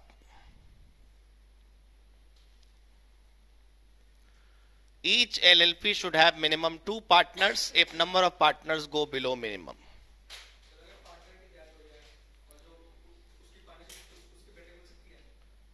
नहीं नहीं, यहाँ पे शेयर तो होते नहीं ना, इसलिए उसके बेटे को नहीं मिलेगी। बाकी के पार्टनर्स अग्रीमेंट करके चाहेंगे तो मिलेगी, नहीं चाहेंगे तो नहीं मिलेगी। यहाँ पर ऐसा नहीं है कि आप गद्दी इनहेरिटेंस में सौंप के जा सकते हैं। ठीक? तो बधाई आप सबको। आज की क्लास पूरी हुई। Thank you so much hello बच्चों कैसे हैं आप? मैं सी ए सी ए संतोष कुमार। मैंने और मेरी टीम ने डिसाइड किया कि जो क्वालिटी एजुकेशन मैं और मेरी टीम एक पर्टिकुलर एरिया में प्रोवाइड कर रहे हैं, उसको पूरे देश में क्यों न फैलाया जाए at the reasonable cost under the brand name of COC education private limited मेरे बच्चों, इस सक्सेस को हमने पाया। कॉमर्स के स्टूडेंट्स किसी भी कोर्स के हो, वो पूरे ऑल ओवर इंडिया में बैठ के हमारे कोर्सेज से बेनिफिट ले रहे हैं या ले चुके हैं। हमें जो दूसरों से अलग करता है, वो है हमारा डेली डाउट सेशन हमारा जो एकेडमिक इंस्ट्रक्टर टीम है, आपके कॉन्टिन्यूस आपके ग्रोथ पे वो नज़र बनाए रखता है और आपको कॉन्टिन्यूस बेसिस पे मोटिवेट करना आपको स्टडी के लिए। मेरे बच्चों कुछ रिव्यूज़ पूरे ऑल ओवर इंडिया से आए हैं। मैं चाहता हूँ की वो आपसे शेयर करूँ। Hello my name is Anshika and I am doing CA intermediate from Bihar student of CA CA